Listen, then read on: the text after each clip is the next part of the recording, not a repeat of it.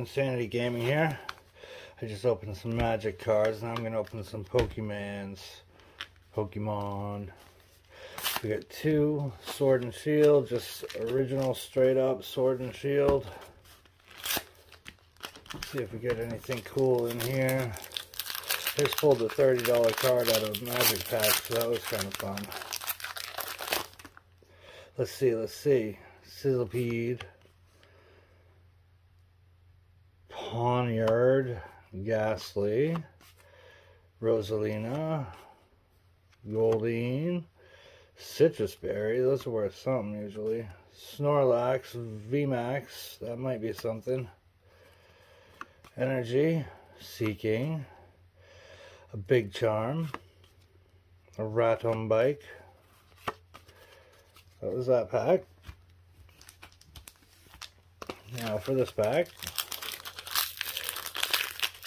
And then I'll do the pricing because um, Casp says that it's cool.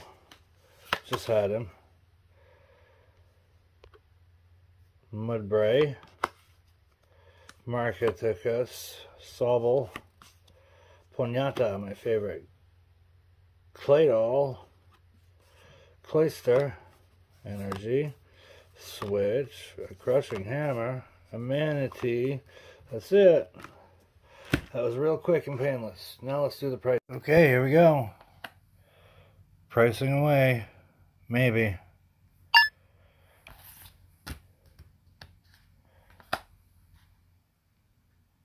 It wants to. Has a hard time with the shiny ones.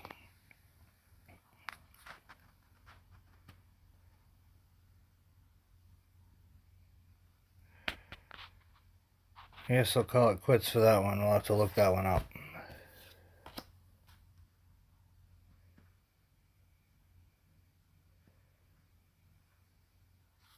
Okay, TCG player is broken.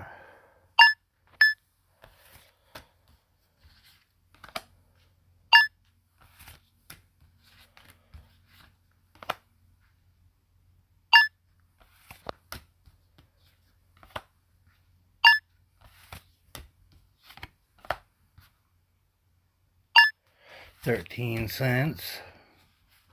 Oh, here's a shiny. It's not going to read it. Up, oh, 23 cents. 22 cents. 7 cents. A switch. 19 cents. A crushing hammer. 48 cents. Wow. 11 cents. Okay, now let's try this Snorlax. I got a feeling it's something. Oh, come on. Whoa, alright, 1330. 1330, that's a pretty good. That is a ultra rare. Back to 8 cents. Already got one of him. 12 cents, 13 bucks. That's pretty tight for a freaking Pokemon pull. Not bad at all.